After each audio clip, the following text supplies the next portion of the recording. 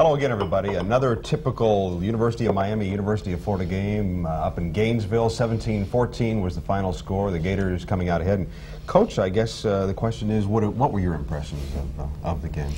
Well, number one, it was a great afternoon. It was a great crowd, and there was a, just a lot of enthusiasm there in the stadium. Uh, 72,000 people, most of them from the state of Florida, and they were uh, served up a very interesting and exciting game. I certainly want to congratulate Charlie Pell and his Florida Gators for the fine game that they played. They uh, very intent, uh, really hustled and, and deserved to win. I also want to congratulate the uh, fans that were in the stadium because it was a very sportsmanlike crowd and uh, really uh, lent a lot to the game. We were certainly disappointed that we didn't play well enough to win. Um, it was one of those days where we didn't execute like we should have executed or are capable of executing. It was a day where our young defense, uh, I thought, came of age. Uh, a lot of the young players that we had, uh, I think, played well. It's encouraging. And uh, probably the most disappointing thing about the thing was is that we didn't score when we had the opportunities to score. Uh, Mark Rush has dove over the, the, top so many times that we felt that that was a codlock cinch, but uh, they made a good mm -hmm. play, knocked the ball loose.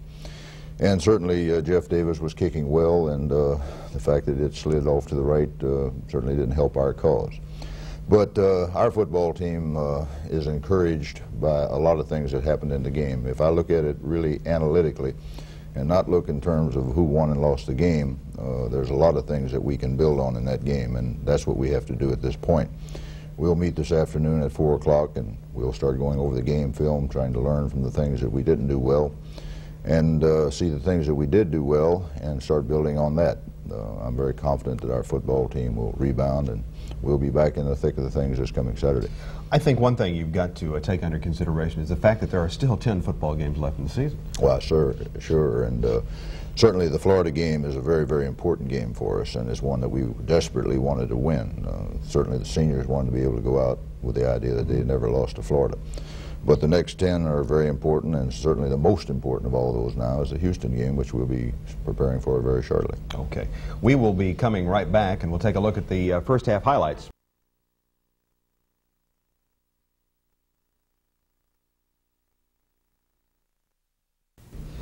Seventy-two thousand folks at uh, University of Miami, University of Florida game in Florida Field. That sets a new record because of the uh, new construction they've got up there, and a lot of them came from South Florida, at least 7,000. Well, I was really delighted to see so many of our uh, fans up there, uh, as you say, 7,000 or so of them up there. Our band was there, our cheerleaders, the Howling Hurricane organization was there in force, and I could see all the green up there in the, in the stands. So uh, I'm really uh, pleased that so many people are following our team and really trying to encourage us and help us win. You know, I think we got to thank the University of Florida for putting the uh, Hurricane fans right behind the Hurricane bench. I think that made the uh, afternoon a little more bearable, as it were. I could hear them. They were right to the right of our bench, part of them right behind, mm -hmm. but I mm-hmm. could hear them, and occasionally when I would turn around, I could see that green. And of course, there's a few down the end zone, too, that I could see, which also helped. Yeah.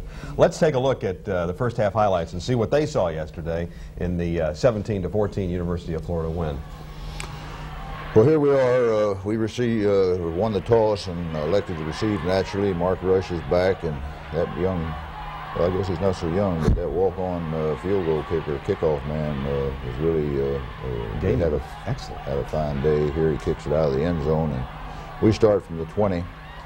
Um, looked right off the bat like we were going to get a good flying start. Uh, we start out here with a screen to Speedy Neal and not executed quite like we would like. It's a little bit ragged, but uh, Speedy breaks one tackle here and then another and makes seven or eight yards and gets us uh, started down the line.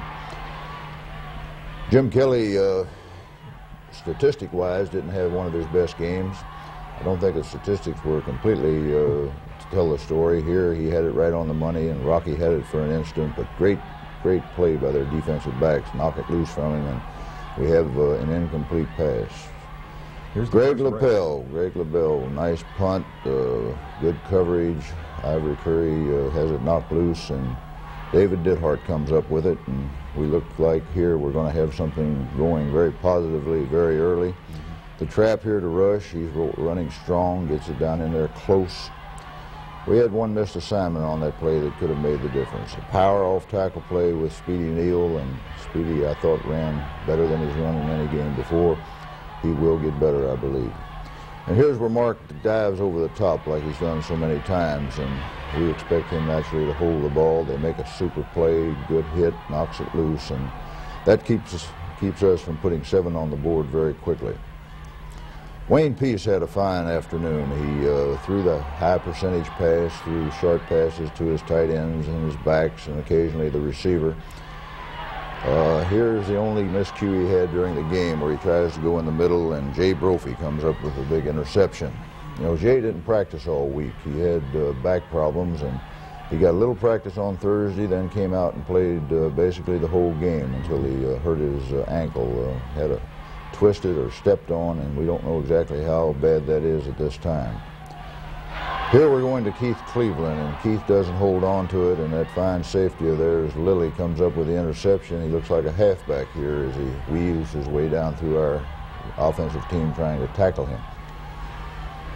James Jones, I'm not sure whether he's going to carry it on this one, though. This is the uh, trap pass to the tight end that uh, big guy that they do so well. They got two big tight ends there that do extremely well.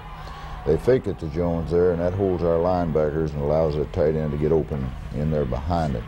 So we're now into the second quarter. Nothing no to nothing. Same play coming back again, tight end again, taking it down there close, 20-yard line. That's their other tight end. That's Mularkey. Mm -hmm. He's from Fort Lauderdale. He's a big, fine-looking player. this one, uh, Peace looks Good scrambling there. Colbrand almost got him there. You know, Wayne is probably uh, more dangerous when you flush him out of the pocket. Strong running here by Hampton, and uh, takes it down in there close. Mm -hmm. We were we were really fearful of uh, Peace getting out of the pocket, and here he does. This is a design play. This is not a scramble, and here he takes it to the weak side, naked, and then pulls his way in for the first score. So the uh, Gators lead by the score of seven nothing after the PAT. We go back to our old favorite, bringing Mark Rush out of the backfield on the swing pass, and we get the ball to him, and here's Speedy on the sweep from the fullback position, showing good speed, getting outside. This is a play-action pass that we thought would be successful. Their linebackers and ends did a super job of getting depth, and Jim doesn't have anywhere to throw it. Takes off running, and one of the aggressive youngsters is a little late getting there. Gets him for a personal foul. I was really pleased with the running of Albert Bentley. Uh, he's playing behind Speedy, and he's just a real tenacious guy that does all he can with what he's got. Glenn Dennison, one of our real sure-handed receivers. I think he caught uh, four passes in the game, and this one for the touchdown. Blitz coverage, and he's working against a strong safety for the touchdown. Now this is uh, Jeff Davis's first kick at the field goal or at the field goal post uh, from the extra point position, and he drills it, mm -hmm. hits it well, and I felt real comfortable about him kicking at that point. So Tight end again there in the middle of the field. Tied at seven here. Scrambling around, buying time, gets it out to his receiver. He uh, picks up a short gain. We barely get him tackled there. There's an awful lot of time to throw awful lot of time to throw. He's an excellent receiver. That's Dixon. He had a he had a heck of a day yesterday. They've got uh, about six of them up there that are uh, championship quality, and uh, they'll go a long way with the passing game. That was Gainey on a 38-yard field goal, which uh, made the halftime score Florida 10 and uh, Miami 7. So you go into the locker room down by three points, and what do you tell the guys?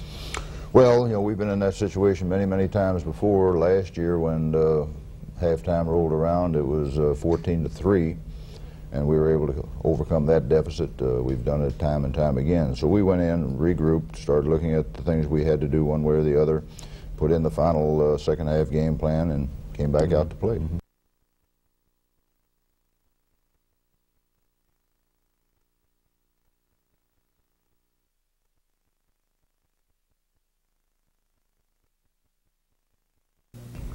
Score at halftime is 10 to 7, Florida leading the University of Miami. And do you have a second half game plan, much like you would have a first half game plan? Well, we changed somewhat based on what we saw in the uh, first half, and uh, that's what we did in this game. I was very pleased the way we came out the second half. I thought we came out really hustling. I thought our offense really started putting things together. Our defense shut them down, and I thought everything was really on schedule. Let's talk a little bit right now about the heat. It was 108 degrees in the direct sunlight, over 120 on the field. At halftime, did the guys need a lot of refreshment and a lot of cooling off to, uh, to come out there and be uh, refreshed for the second half? I'm sure halftime was a welcome sight for that. well, it was, but uh, we take certain certain steps in these kinds of games. We always make sure that we've got a uh, extra set of jerseys, and extra t-shirts, socks, and those kinds of things, so that the all this weight doesn't uh, stay with them for the second half. Okay, let's take a look at the uh, second half highlights and see what we got going here. And University of Miami is going to start it off on what had to be a very uh, pleasing sight for you: a 16-play, 86-yard drive.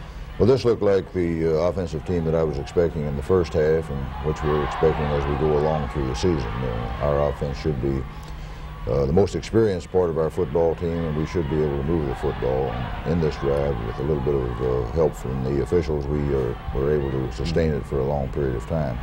We started going underneath against the uh, deep drops of the linebackers with tight ends delays and uh, fullback delays. Here we're going weak side with Keith Griffin on the weak side sweep, and Keith and Albert Bentley both ran extremely well. Here just a quick hitch out to Rocky. They weren't covering him, but with one man. Here Keith comes back to the weak side, high stepping and taking it on down uh, closer in. This was a big play of the drive. Mark Rush on a swing pass against the uh, blitz and uh, almost outruns the last defender, but uh, the youngster makes a good play, shows good speed, keeps him from getting into the end zone, and forces us to take several more plays to make the score. That's a gain of 27. That gets it down to the four-yard line. And now Keith coming back and really lays his ears back and I thought almost got it into the goal line. We come back to the same play that Mark fumbled on the first time, and this time he jumps over the top and gets it in the end zone for the score. And with the PAT, Miami takes the lead. Did you go back to him to build his confidence because he had fumbled over? Well, we have great confidence in Mark, and uh, we've scored on this play, you know, time and time again. And uh, simply because he made an error, we're not going to get away from something that's been good to us for a long time. So Miami takes the lead by four, 14 to 10. We are still in the uh, there third those, quarter. There are those uh, howling hurricanes, hurricanes back yeah. there. Here Peace scrambles and Fred Robinson, who I thought played uh, a hard game. He's got a lot to learn yet, but he played hard, and I think he's going to be a fine football player as mm-hmm. time goes on. This is uh, Oh, what a tough luck situation that was. Uh, Rodney Bellinger was in position for the interception and the possible score, but not today. Screen pass, and here uh, Speedy shows why they call him Speedy. He's moving pretty good. If Rush would get out of his way there, he might have gained another uh, several yards. A runaway freight train. And this is Albert Bentley on the quick sweep to the fullback, and he's met by a host of tacklers there, and he lays his ears back again and gets what he can. Here's Jim. Uh, the original receiver there, of course, is uh, Mark Rush, but uh, they're doubling him, and he goes out to Rocky Belk on the comeback pattern along the sideline.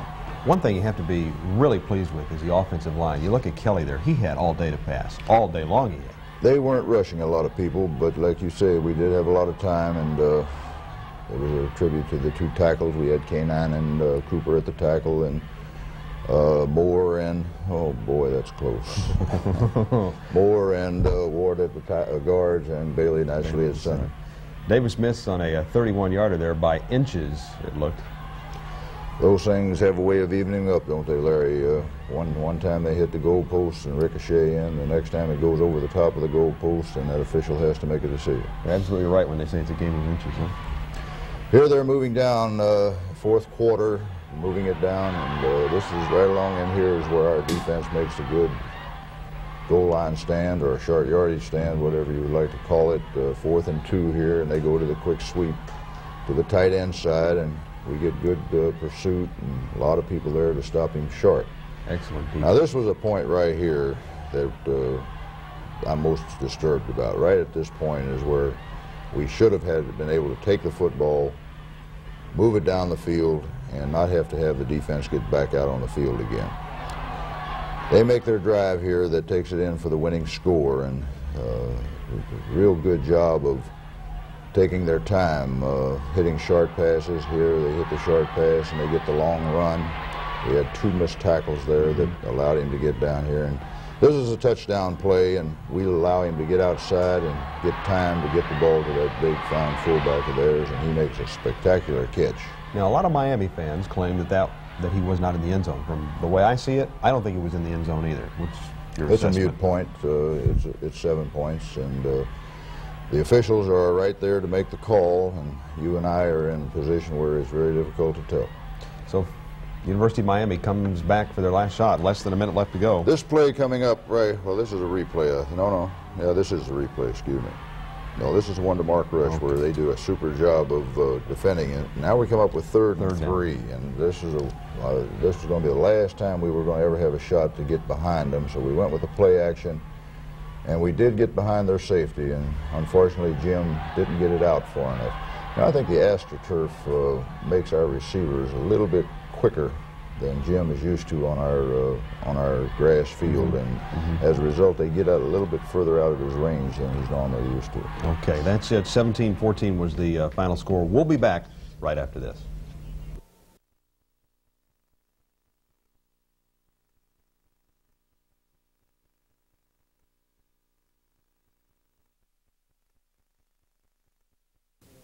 Okay, this weekend in the Orange Bowl, it's University of Houston. Uh, very briefly, what do you know about the Cougars?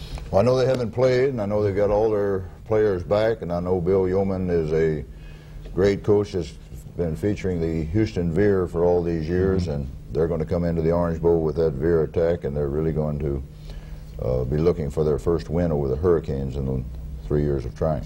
Let me ask you, because they haven't played, that's an advantage to them because they've seen you against Florida, right? Well, it works both ways. I think the fact that they've seen us is, helps them uh, to prepare.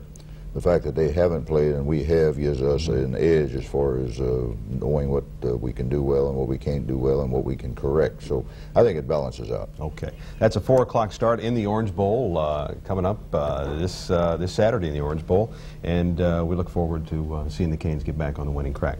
That'll do it for the, this week's edition of the Howard Schnellenberger. We'll see you next week.